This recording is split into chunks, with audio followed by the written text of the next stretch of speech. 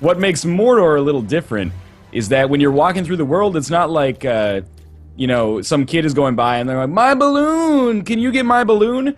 Instead, you'll be like parkouring somewhere, and then out of nowhere, the screen will just go like dunk, dunk, dunk, dunk, and then like this orc with like a half, like slashed open face will be like, "Oi, I'm gonna pull your innards out through your bunghole," and then his name like pops up like a WWE entrance, and it's like, "Yo, Dick Fuck." The Dong Smasher, and your controller even Oh, whispers his name. Badass name. Your controller whispers. The, the speaker in the PS4 controller, if you enable it, will whisper their name or like growl it, so it'll be like "Dick Fuck." What can I do about that if I want it on PC? How can I make my PC whisper dick fuck? Uh, that's a good question.